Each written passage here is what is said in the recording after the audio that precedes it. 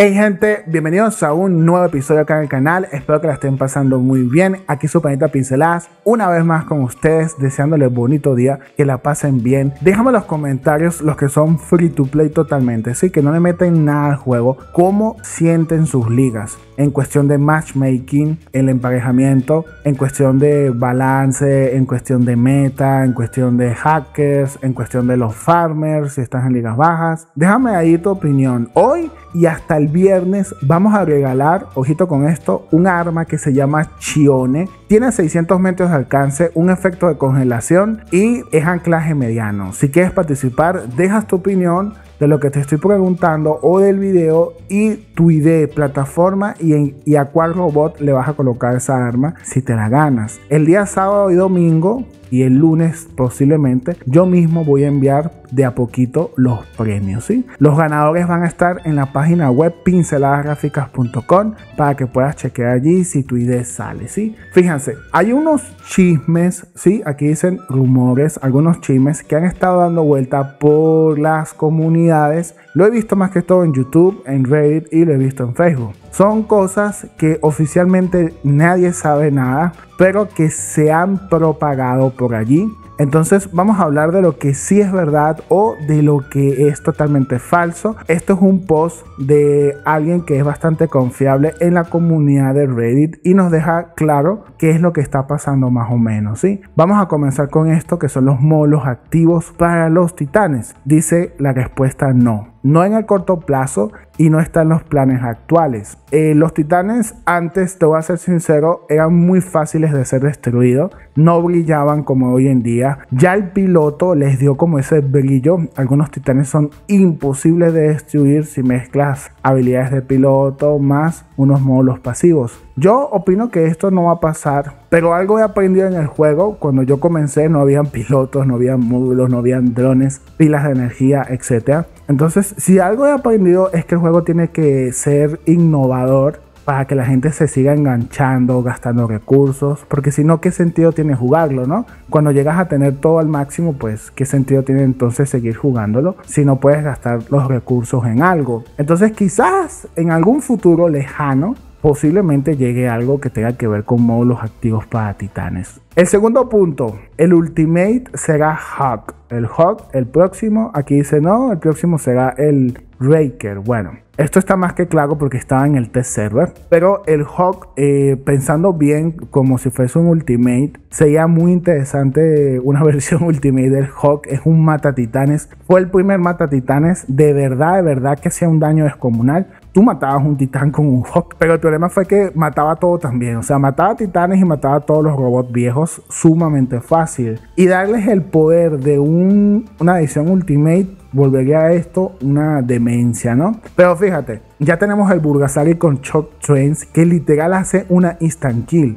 Entonces no sé si a este ritmo cada mes sacan una versión Ultimate. Tarde o temprano van a sacar una versión del Hawk por lógica, ¿sí? Porque están sacando versiones Ultimate, Ultimate, Ultimate, Ultimate, Ultimate. Tarde temprano va a venir quizás un Hawk en un futuro. Pero por el momento no. Se van a eliminar las pilas de energía. Ya hice un video de esto hablando, pero por lo que veo, esto sigue por allí en la comunidad dando vueltas. Aquí nos dicen no. Vamos, ¿Alguien realmente piensa que las pilas de energía, uno de los recursos que más se necesita y que más gastan, será eliminado? Bueno, yo cuando hice mi video yo dije que yo dudaba mucho esto porque es algo que yo considero pay to win, ¿sí? O sea, tienes que pagar para conseguirlas en una cantidad suficiente para jugar en campeón. Quizás en ligas más bajas no, lo que te puedas ganar gratis es suficiente, pero en campeón yo a veces gasto en una partida 3000, 4000 de pilas, incluso más. Entonces, dejando claro este tema, no van a ser eliminadas las pilas de energía. Ojo con eso para que no te angusties, no tengo, si tengo, que va a venir, no hay ni otra moneda. Bueno, ya esto está más que claro, ya lo había dicho, pero lo vuelvo y lo repito, no, no tiene lógica. Y si sacan una nueva, ¿para qué sería así? Si ya de por sí está monetizada. El cuarto punto, My Games, que es el dueño de Pixonic, venderá el juego. Aquí fíjate que esto me gusta, fíjate, nunca digas nunca, pero repito, es una tontería total a corto y mediano plazo. ¿sí? Esto nunca digas nunca, también se fuese puesto aquí y aquí.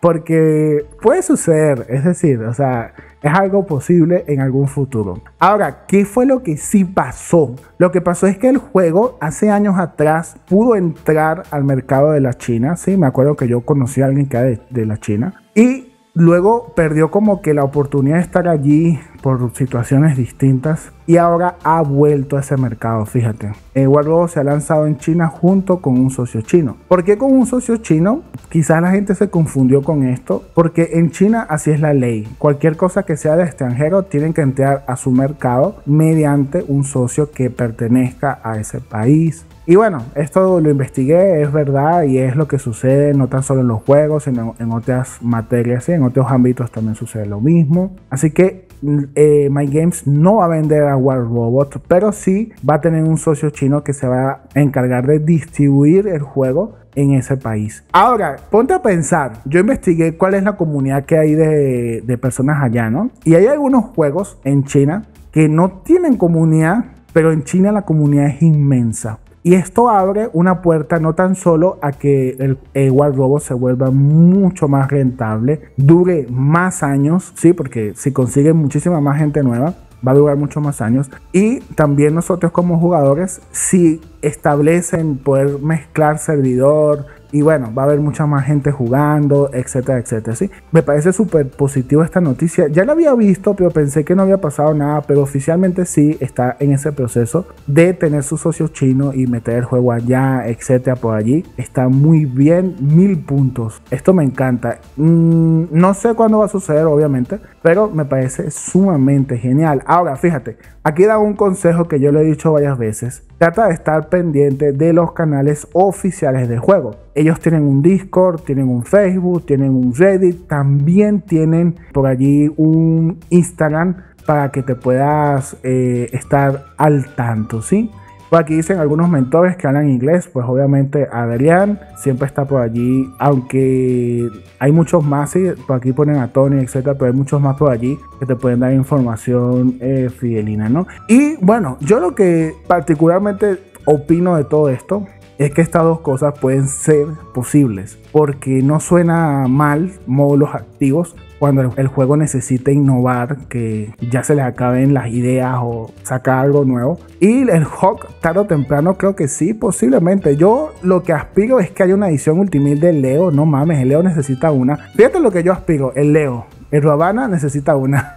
¿Sí o no? Es lo que a mí particularmente me gusta. Y el Shell sería el otro. Esas tres cositas me gustan muchísimo que, que salgan en una edición Ultimate, ¿no? Y que sean un poco fácil de conseguir. Entiendo que algunas como la Burgasari Choten, que te da mucha ventaja, sea imposible de conseguirla, muy difícil. Pero que también hayan ediciones Ultimate un poco más free to play amigables. Que no signifique que sean malas, sino que sean un poco más accesibles, ¿no? También sería chido eso por allí. Y bueno, gente, espero que esto te quede claro para que no confundas las situaciones. Hay un último punto que yo le voy a añadir que es el cambio que se le va a dar a los módulos pasivos de los robots. Eso sí fue anunciado por allí, creo que a principios de año que iba a venir como que un cambio, que no sé qué. Eh, eh, oficialmente en el juego dio como que un, un teaser de eso, pero no se sabe absolutamente ni cómo va a pasar, ni cuándo va a pasar, ni nada por el estilo. Yo me puse a investigar en los juegos de robots que ya existen, ¿sí? Los juegos que ya están en PC y en mobile